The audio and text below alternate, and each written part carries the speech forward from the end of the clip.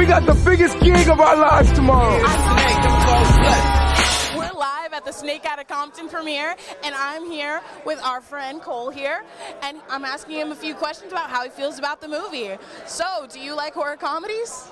I absolutely love horror and I love comedy, so why not get the best of both worlds? Sounds like a beautiful combination. Yeah. Uh, how did you get invited tonight? Uh, my friend Motown invited me. He's a good guy, great actor. So he's like, all right, I'll go check out your movie. So here I am.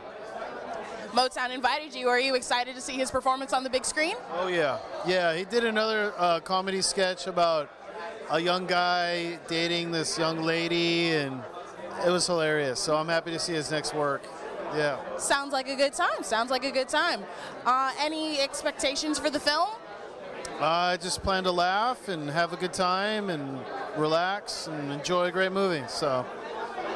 I'm looking forward to it as well, Cole. So before you go, can you go ahead and tell me what movie you're seeing today? Snake Outta Compton. Compton, Compton, Compton.